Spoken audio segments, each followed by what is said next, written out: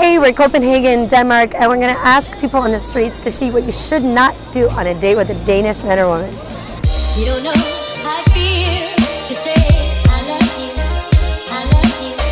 You don't know, you don't know, you don't know to say I love you, I love you, I love you. You don't know. Uh, get drunk on the first date. so you okay, don't yeah. like girls who don't get drunk on the first date? Yeah, you have to get a little drunk on the first Tipsy, date. not drunk, Tipsy. maybe. maybe it's just because we're a bit shy. so it's yeah. nice to get a drink and relax a little bit. Yeah. So asking you interview questions. Yeah, it was like this going on uh, on the first date. Like what I'm I studying and uh, like what what's where, what I where I'm living and uh, where I like well, too many information. Yeah, yeah, too many information and not really like any personal personal stuff like as well. I don't know. Yeah, maybe just like casual. Keep it. Yeah, keep like, it casual. Not that don't. formal. We're yeah. I don't know. For me, I wouldn't be taking out to this like really fancy restaurant trying to impress. No need.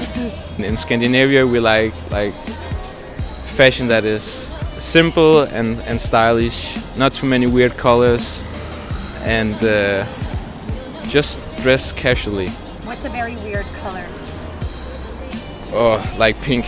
That, that that's not good in Scandinavia. Um, you know, Danish people like to to stay at home and have this term called hygge.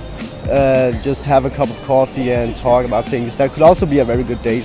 Um, yeah, yeah. Netflix yeah. and chill. Netflix yeah, you chill, can say yeah. that. Yeah, yeah. Okay. Do you have anything? Youngest uh, brother. I, I'm, I'm only in eighth grade, so I'm not really into girls right now. oh, you what? Gray? That wouldn't be bad. So Fifty Shades of Grey is good. Yeah. yeah. You don't go and ask a stranger, "Hey, you look nice," and then you say, hey, "Can we go on a date?" It's like, then okay, your yeah. your your brother knows someone who knows someone who has a friend, and then you go out with them. Danish women like clean clean guys, right? yes, it's true. He impressed me with his laundry skills. when you're drunk, you just you're very horny, and then you go, and then you have a connection. When you had sex, you have a connection. And then you can say, you can go out for coffee and say, yeah, it, you were nice. Yeah, yeah, you too, you were also nice. Yeah. I think women here are very independent, uh, and you shouldn't expect them to be the one to cook or clean or you know take care of the children. Um, just I think you have to pay for your separate bill. I don't think the man has to pay on the first day. Why not? Women has money too. Yeah, if a guy asks me out for dinner, I would like to just pay my share of it.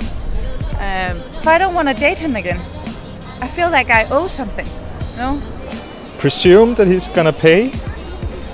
Oh, I mean, oh, uh, yes. That's true. I have totally forgot forgotten about that. Yeah, that's true. It was a bit awkward because I I thought that he's gonna pay, but I also knew that he's Danish, so I expected that he's not gonna pay. So I don't remember what happened. I think he paid actually. Yeah, but we, I'm not we, mistaken. we, I mean, yeah. of course, we love paying, but we want it to be a nice gesture. I think you go out and then you find someone you think that looks nice, and then you uh, kiss with them, and then you go home and have sex, and then you decide While if you drunk. want to. While yeah. drunk, yes. and then you decide if you want to see them again, and then maybe you can go out and drink coffee. Generally, you have sex before you, you go for coffee. Yeah, no, no.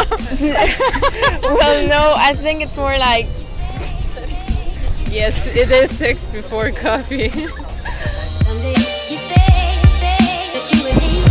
Sorry. Sorry.